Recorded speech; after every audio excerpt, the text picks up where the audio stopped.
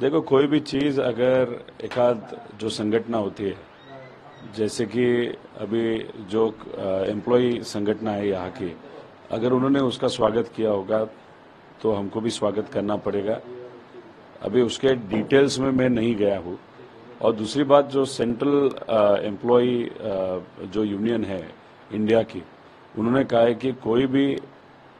पक्ष अगर सत्ता में हो या विरोध में हो इस चीज़ की राजनीति नहीं करना चाहिए इसलिए अगर उन्होंने ये एक्सेप्ट किया होगा या स्वागत किया होगा तो हम भी करेंगे, लेकिन उसके डिटेल में जाके ही उस पर ज़्यादा हम बता सकते हैं if you like this video then like share and subscribe to ET Now.